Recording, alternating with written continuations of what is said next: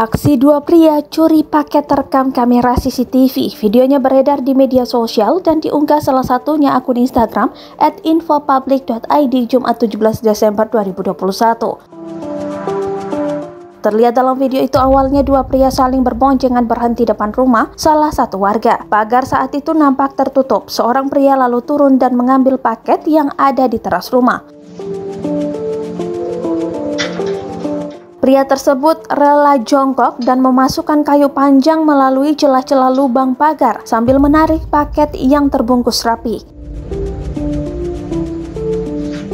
Pada keterangan dituliskan kata cash on delivery atau dikenal dengan istilah COD diplesetkan menjadi comot on delivery. Pria yang satunya lagi menunggu pria tersebut selesai mengambil paket lalu segera bergegas pergi. Tak disebutkan di mana dan kapan peristiwa itu terjadi.